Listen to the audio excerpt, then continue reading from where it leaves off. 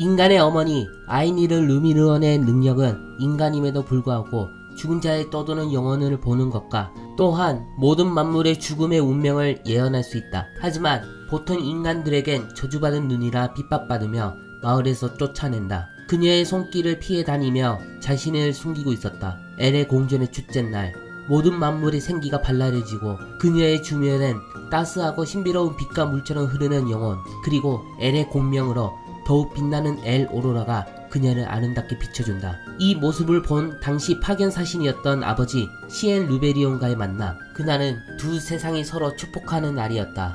인간이 어머니에게 받은 주홍의 눈 이스타니아 영혼을 다룰 수 있는 힘이 있었기에 루비스는 베스마 마을 차차부크에게 영혼과 관련된 정보를 얻는다. 베스마에서 영혼을 다룰 수 있는 자는 샤먼 카야크와 베라우크. 하지만 그들의 방법은 엘의 힘의 영향으로 마력과 영혼을 조합시켜 발사체로 만들어낸다. 그 조합으로 인해 자신이 버틸 수 없는 상태로 정신을 끊기기도 한다. 좀 더 완화된 해결책을 찾기 위해 영혼을 자유자재로 다루기 위해 새벽 용의 둥지의 재단에서 알프니르의 목걸이에 영생을 응축시키고 그 결과 만물의 영혼을 다룰 수 있는 방식을 얻게 된다. 이로써 루비스는 영혼들이 가진 감정들을 알아가며 자신이 가진 이스타니아의 힘으로 잘못된 길로 가는 낯소드들 그리고 증오와 복수심으로 가득 찬 인간과 마족들을 정화하는데 굳은 결심으로 다시 모험에 임한다.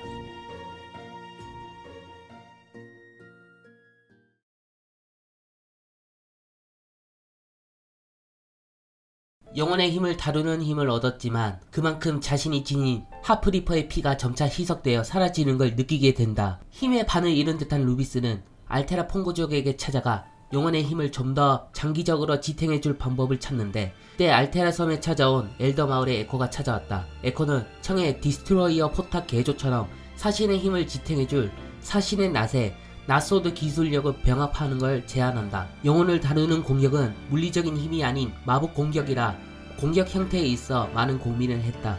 사신의 낫을 휘두르는 동세가 크기 때문에 빈틈이 보이고 영혼 발사체는 영창 딜레이가 있어 쉽게 빠른 공격에 당할 수가 있다. 이 문제점을 보완하고자 루비스는 레이븐과 이브가 지니고 있는 나소드 기술의 기동력을 보고 알테라 퐁고족을 찾아간 것이다. 이때 고안해낸 방법이 바로 낫과 동시에 장거리 발사와 근접 공격에 견제할 수 있는 샷건의 기술을 탑재한 것이다.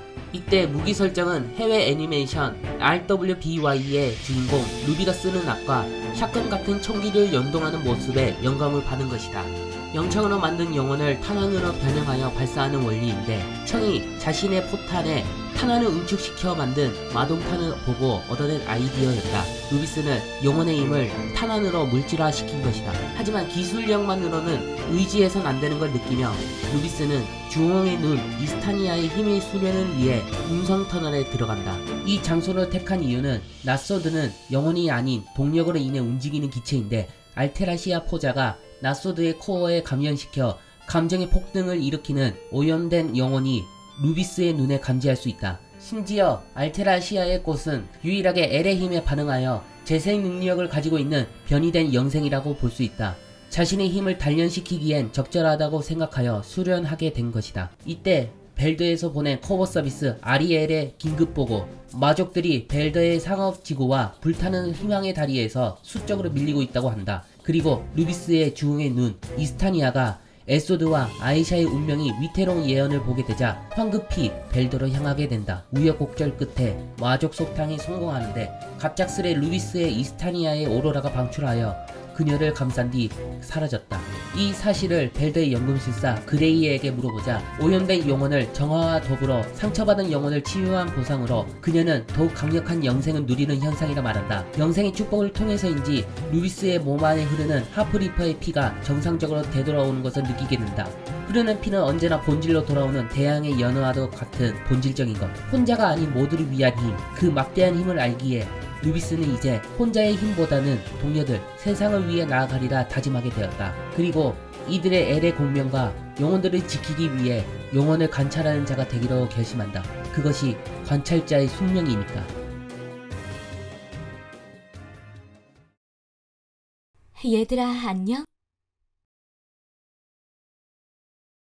엘리아노드에서 계속되는 현상 헤니르 시공 관리자 글레이브가 말한 생명의 씨앗 모조품이 아닌 진정한 다크엘의 무서움 그리고 세븐타워 데브리안에 금지된 연구 헤니르와 연관된 조사를 통해 데브리안 연구소 차원을 잇는 통로를 찾으러 떠난 엘소드 일행 점점 데브리안의 지하 연구소로 가는 동안 아인의 힘이 혼탁해지고 이를 통해 루와 아인의 약간의 말다툼이 있었다. 그리고 개별 행동으로 어디론가 가버리는 루와 시엘 그리고 엘소드 이때 루는 연구실로 가는 주변에 마족의 주문으로 숨겨놓은 비밀의 방을 찾아낸다. 그렇게 비밀의 방에서 얻어낸 단서는 바로 생명의 씨앗과 일기장 그리고 또 하나의 명단이었다. 마족의 언어를 읽은 루는 새로운 사실을 알고 일행을 만나 일기장에 쓰여진 정보를 알린다. 그런데 루비스와 아이샤를 따로 부르는 루는 충격적인 사실을 알린다. 루가 발견한 또 하나의 명단은 다름 아닌 생명의 씨앗으로 헤니르 교단과 데브리아인이 연구에 쓰이는 실험체 대상 명단에 아이니르 루미로 바로 루비스의 어머니가 기재되었다. 그리고 일기장에 루비스의 어머니가 실험을 통한 기록 내용인데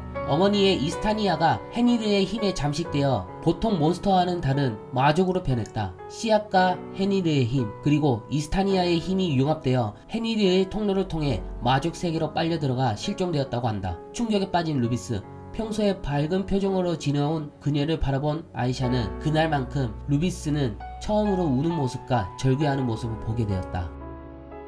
아버지는 평소에 왜 어머니의 이야기를 하지 않는 이유를 조금은 알게 되었다. 마족의 습격이 다른 헤니르 교단이 침투되어 교란을 틈타 살라자르의 사신들을 납치한 것이다. 슬픔에 빠진 루비스에 다가간 청과 아라 그리고 엘소드는 헬퍼트 경과 란을 마족에게서 구할 수 있을 거라는 희망으로 루비스의 어머니도 함께 구해내자고 손을 내밀었다. 그러자 갑자기 이스타니아의 힘으로 발동된 예언에는 희미하게 루비스의 어머니가 하얀 공간에 잠들어 있는 모습을 본다. 루비스는 이 예언을 통해 어머니를 구할 단서와 정보를 찾으러 떠난다. 이때 이 이야기를 헤니르의 시공 관리자 글레이브가 단서를 준다. 살라자르에서는 흑과 백의 사신의 전설이 있다. 침묵으로 빠뜨리는 무의 사신, 영생을 바라며 죽음을 인도하는 사신, 이 둘이 합치면 생사의 윤회를 돌고 도는 죽은 자들을 위한 엘의 공전을 이롭게 한다. 그중 백의 사신을 대행하는 신수 백사가 베스마 용의 둥지의 나락에서 본 드래곤을 섬기는 위치의 부근에 그 신수를 모시는 동굴이 있다. 이 단서를 통해 루비스는 즉시 찾아가기로 한다. 동굴에 도착한 루비스는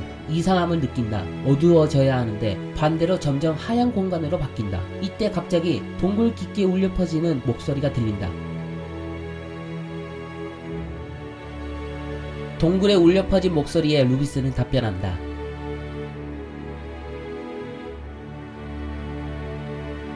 카두세우스는 그녀의 주엉의 눈 이스타니아를 보고 베게아의 사신이 다시 태어난 예언이 바로 이 아이라는 걸 깨닫고 함께하기로 한다. 그리고 그와 동시에 엄청난 영혼의 힘이 그녀의 눈으로 들어간다. 새하얀 빛으로 새롭게 부활한 루비스의 새로운 힘 백사 카두세우스와 함께 마계의 어머니를 구하기 위해 엘소드 일행과 함께 떠난다. 참고로 카두세우스는 본래 올림포스 신화 중 헤르메스가 쓴 지팡이의 문양을 본딴 것이다. 지팡이의 문양을 잘 보면 아시다시피 구급차나 병원에서 주로 쓰이는 문양이다. 이승과 저승을 오고 갈 수 있는 하나의 동물이라고 칭하였기 때문에 이 점을 가져온 것이고 하얀 뱀은 불로장생을 의미한다. 에스텔은 영화 반지의 제왕에 나오는 실마릴리온이라는 창세기 신화가 있다. 그중 12주신인 발라라는 주신들 중에 에스텔이라는 발라가 있었고 다른 의미로는 영국에서 가장 높이 뜬 밝은 별이라고 한다. 그 별로 위로를 받는 사람이 많아 그 별을 칭송하며 지은 별 이름이 바로 에스텔이라 한다.